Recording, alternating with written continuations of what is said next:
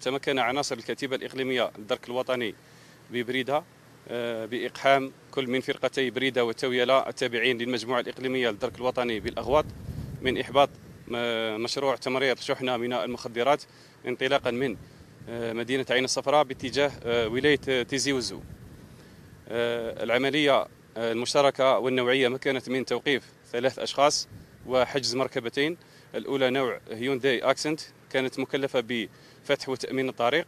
المركبة الثانية نوع جرار طريقي كان على متنه آه، ما يقدر بحوالي 65 كيلوغرام من مادة الكيف المعالج. كانت موضوعة بإحكام آه، بالمقطورة آه، كما تم حجز خلال العملية. مبلغ 21 مليون سنتيم من عائدات تجارة المخدرات. حجز تسع هواتف نقالة.